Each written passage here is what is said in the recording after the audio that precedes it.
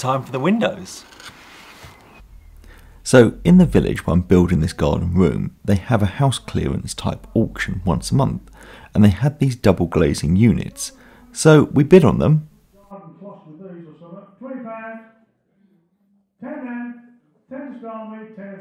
Use first 10, 12, 14, 16. I've got 14 with 238. All done 14. So, sorry for the shaky footage, we're trying to be discreet. But I don't know if you could hear, but we got these for £14 for 8 units. Now, we're going to use 4 in this garden room, and that leaves 4 for when I build my workshop next year. So this is just the double glazing glass, no frames. So it's back to my house to make some frames for them. I'd ordered some planed all round pine to make these out of because they're going to be painted. So I can measure up what size I need it to be and then set up some stops on the miter saw and start getting the parts cut. This was my first outing with my new Bosch miter saw and I was very pleased with how it performed.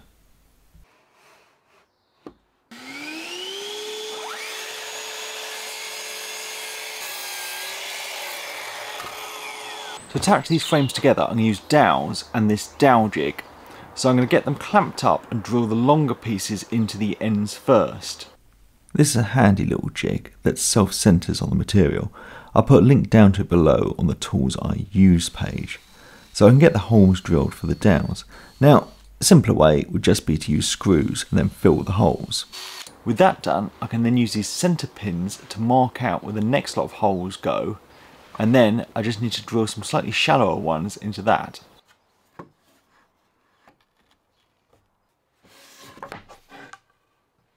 Now I need to drill the corresponding holes, so I've taken the dowel jig apart so I can use it as a drill guide, so I just need to drill some shorter holes through this. I couldn't find my drill stop, so I just had a bit of tape put round to mark out how deep I needed to drill. I can now get the glue applied, dowels in, tapped together and clamped up.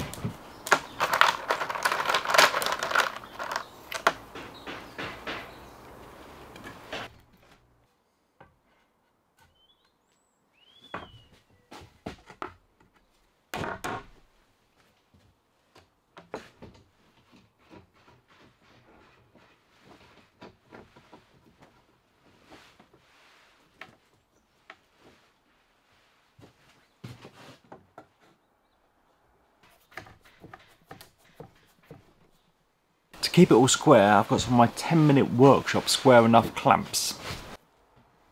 So now I need to make some mouldings to go around the frame for the glass to actually butt up to. So I've got some thin strips of wood, but I want to rip an angle on them so the water will run off. And I'm going to do that on my new battery table saw, and this is going to be the first proper thing I've done on it.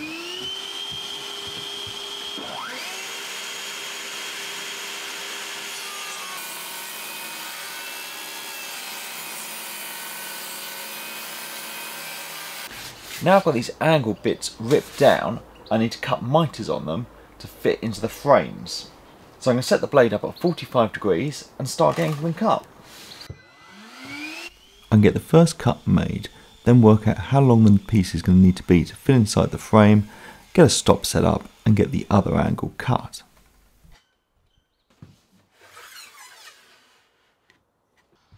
I just sneak up on the cut, trimming bits off until I get a perfect fit.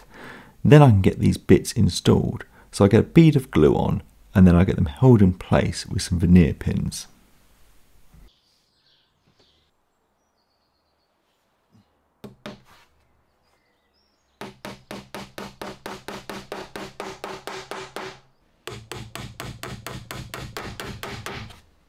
So now I've got this wood installed in the frame.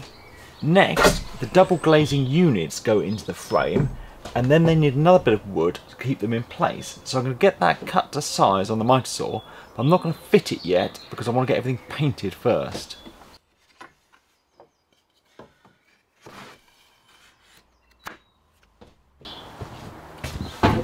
Now these frames need a windowsill, but I couldn't find any timber big enough, so what I've got is a couple of pieces that I'm going to get laminated together and left to dry.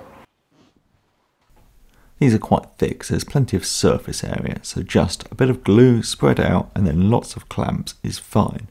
Now, while I'm leaving these to dry, I can get the frames all sanded down.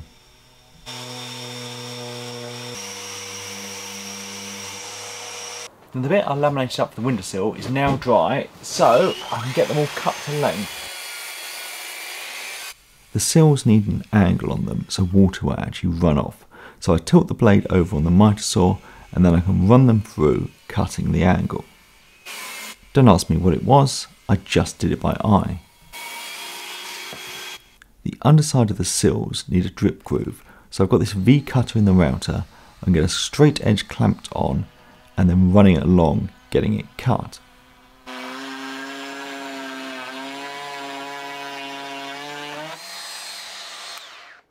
Now I can get some glue applied and get the frame and the sill clamped together.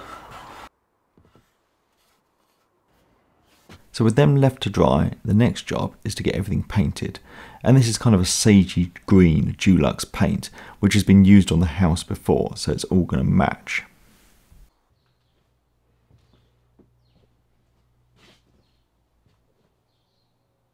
Now the paint's dry and I need to get the glass in, I've got this 2mm thick double-sided foam.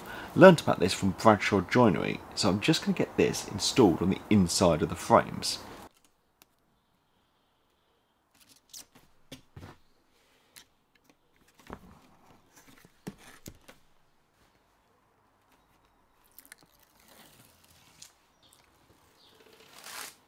So I'm going to get some 5mm packers put in, the glass lowered onto that, then I'm happy with the position and get the packers removed and the glass pushed down onto the tape. So the packers are just slightly thicker than the tape, so stops the glass contacting. Just gives you a little wiggle room to move it around and get it centered. Then I can pull those packers out and push the glass down onto the tape, getting a good seal. Now I've got the panel centered, but I don't want it to drop at the bottom, so I've just cut a packer in half and I'm going to get it in there. So now the battens need to go in to hold the glass in place. So the same foam tape gets applied and then this goes in pushed against the glass. Now to hold these in place, I can then tack them in using some veneer pins.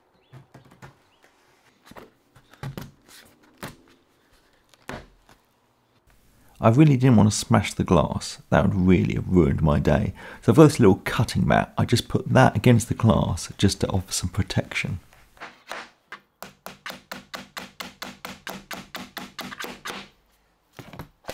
Now with the glass put in with the foam, it means there's a small gap around the outside. And I can go around with some silicone and fill all that now. Now you could tape up the glass and the frame with some masking tape, but I just tried to be as careful as I could.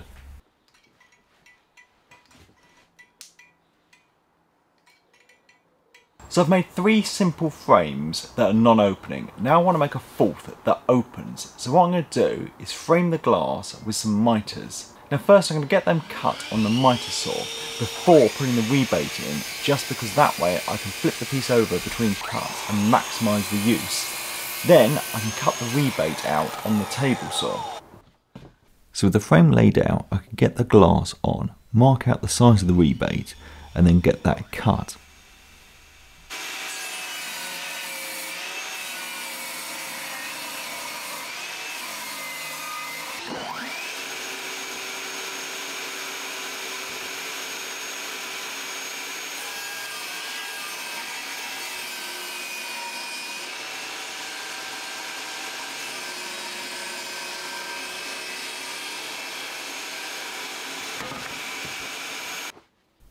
The frame can then get glued together and I get it clamped up using some of these Collins mitre clamps.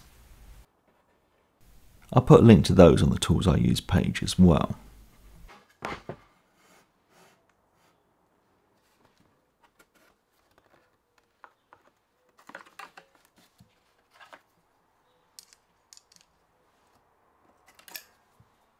So the glue's dried on these mitre joints now, but I'd like to reinforce them. So what I'm going to do is use some of these 10mm dowels, drill down and get a couple into each corner. Then when they're dry, I can trim them flush and give the whole thing a sand down. I start the holes with a Forstner bit because it leaves a really clean hole and then finish it with a normal wood bit. Then the glue goes in, dowels and tap down into place.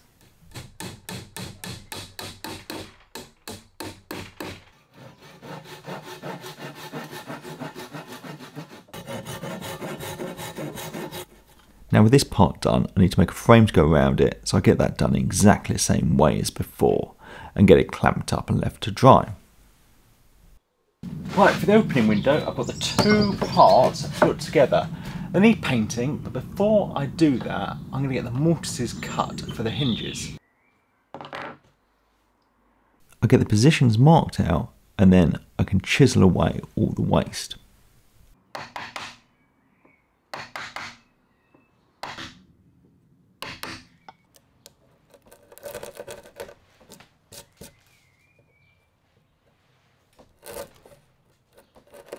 So with that done, I skip ahead and get them painted and the glass in because I've shown all that already.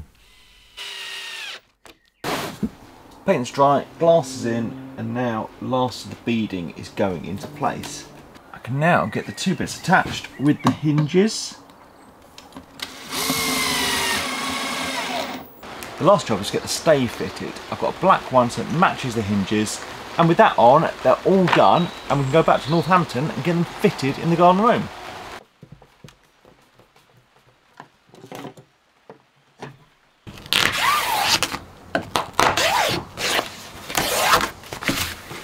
So, to get the windows fitted, the first job is to get this membrane folded back and stapled back in place, and then I can trim off any excess. So now I want to go around and use some flashing tape to seal it up. So I'm going to start at the bottom and then every joint above it overlaps the bottom one to stop water getting in.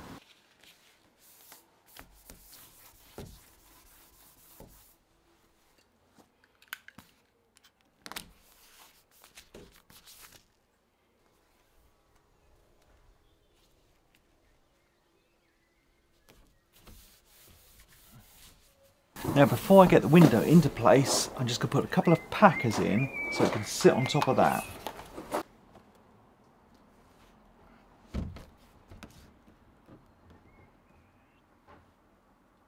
Can now get the window flush with the stud work and then get some more packers in to get it centred into the surround. Then I get some screws driven in through the packers to lock it into place. With the first one done, it's just a question of repeating the process another three times until I've got all four windows into place. Right, now I need to go around all the windows and just silicone with some exterior grade silicone all the gaps.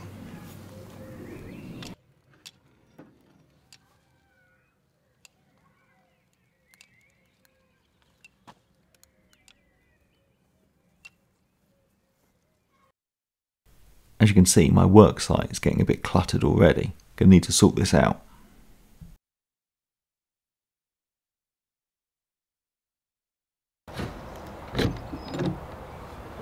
So, there we go. Four windows fitted and sealed up. Uh, I just need to go round and clean them and touch up the paintwork, but I'm going to wait until the cladding's on for that. So the next time is to get the door fitted. So, thanks for watching. Thanks to my patrons, and please subscribe for more videos.